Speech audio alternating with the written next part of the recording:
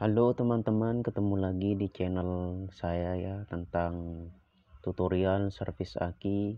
Sekarang saya akan memberikan cara mengecek kerusakan aki kering yang ada pada aki motor ya. Nah, ini sudah saya buka ya, sudah saya gergaji. Kemudian bisa dilihat di sini ada sambungan yang patah ya kawan.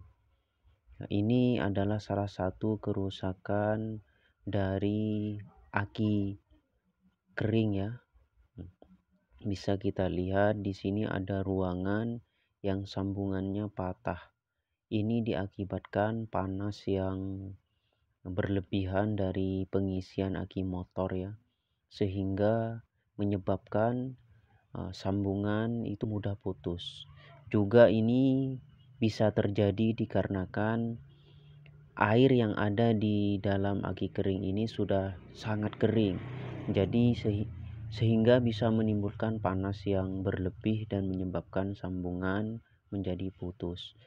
Untuk cara pengambilan selnya, mari kita gunakan cara seperti ini ya kawan. Bisa kita gunakan pisau ya. Nah, mudah cara untuk mengambilnya. Bisa dipraktekkan sendiri di rumah.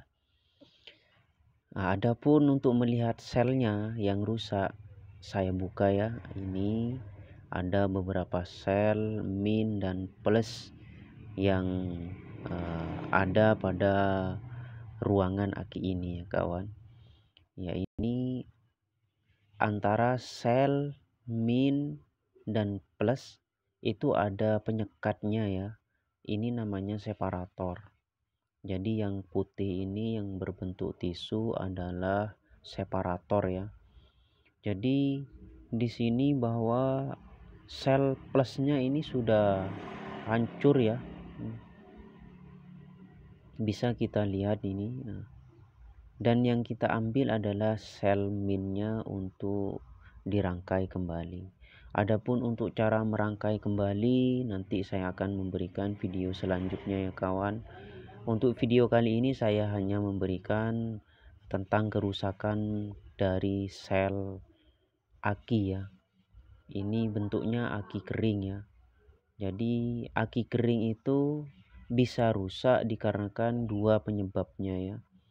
Satu sambungan dari selnya itu putus. Nah, ini adalah sel minnya yang masih bisa kita pakai kembali. Yang kedua dikarenakan air dalam uh, aki kering itu sudah kering ya yang uh, katakanlah sangat kering. Jadi uh, menyebabkan sambungan dan selnya itu menjadi rusak. Oke teman itu adalah sedikit penjelasan dari saya. Semoga bermanfaat. Terima kasih